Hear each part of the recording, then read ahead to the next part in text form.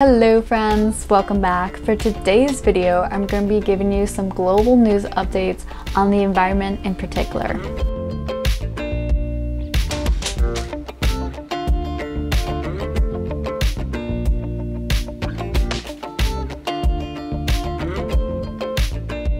First thing I have to mention, I hope you guys are safe and healthy to the best of your abilities. I hope you are taking every precaution you can to not infect yourself or others. I know Corona is everywhere. It is all over the news. Um, and to me, it's very important to get news coverage and stay updated, but I feel like it can also be overwhelming and induce a lot of anxiety and fear in the masses. So for today, we're gonna keep it more based on environmental news. So first thing first, we are gonna slightly talk about how Corona and climate change are linked together because it's very important to address that as well. So I've been seeing a lot of fluffed up, good feelsy articles about how Corona, quarantine, um, less air travel and transportation has led to a dip in emissions and animals coming back to urban places, which is true, but not to the extent that they are playing out. So let's get into that first. So NASA and the European Space Agency have been using pollution monitoring satellites to record the decrease in nitrogen dioxide from China since January 1st, which was just about when the outbreak of corona happened. Globally, since February, air traffic has dropped about 4.3%, which has led to global emissions dropping about 1.3%.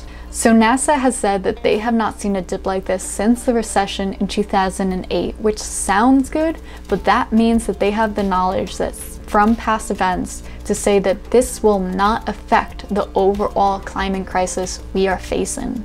So that sounds like I kind of put a damper on the whole hope, oh, we are, the earth is healing, We're, when we come out of this, it'll be all fixed.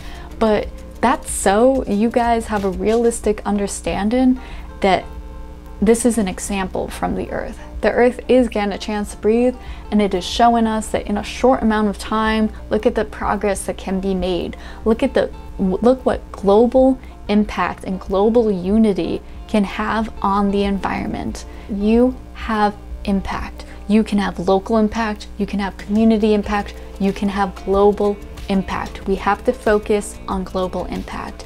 If we all work together, if we pass bills, if we make these changes to our lifestyle, to transportation, we can have a positive effect and we can stop or slow climate change and get out of this climate crisis that will catch up to us if we don't start implementing these global changes. That's it, no more Corona news, I promise for this video.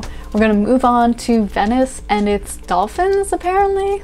So there has been viral photos going around of swans and dolphins returning to the canals of Venice. Um, and everyone is saying, oh, look, wildlife is returning to urban places once again because humans are letting the earth heal.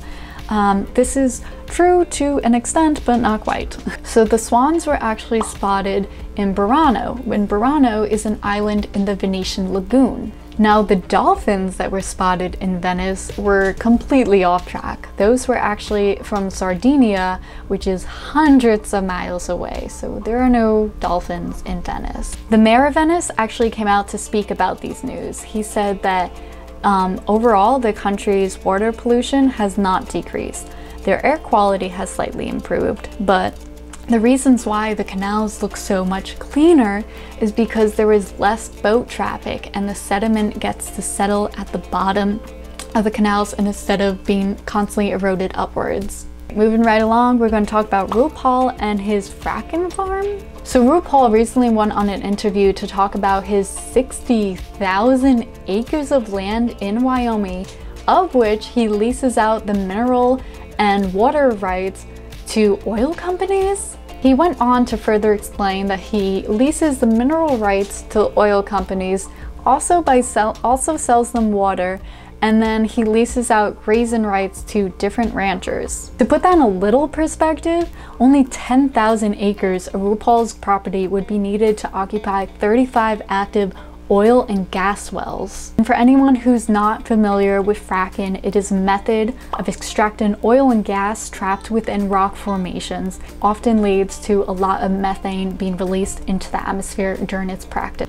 This is kind of a story where you do what you want with this information. Um, I'm not saying you gotta boycott um, RuPaul's Drag Race, but you should definitely be familiar and know who you are supporting. People with wealth have power. What they do with that wealth is very important. And if you want to support someone that does actions that don't align with your values, that's completely up to you. But you have to sit back and acknowledge that who are you supporting and what are they doing with their wealth? Because in the end, you can do great stuff with wealth and you can do not so great stuff with wealth.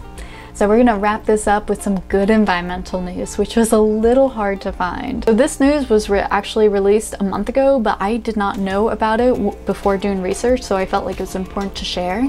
Um, Britain is banning the sale of any new gas, diesel, or hybrid cars from 2035. The Prime Minister, Boris Johnson, goes on to say, we know as a country, as a society, as a planet, and as a species, we must now act.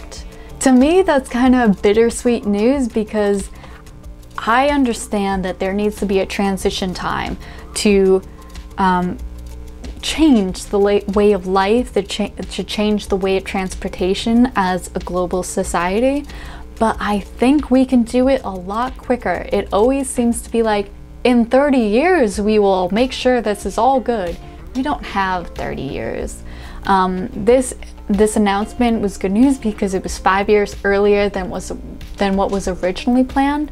But once again, I just feel like we can do things a little quicker, guys. The final good news I have for you guys is Virginia becomes the first state in the South to mandate 100% clean power. That means that um, Virginia is going to move on by optimizing wind and solar pow power and start phasing out fossil fuels um, like coal by 2050. This is good news. It is. I just feel like, again, we can do things a little faster as far as transitioning into more of a sustainable world.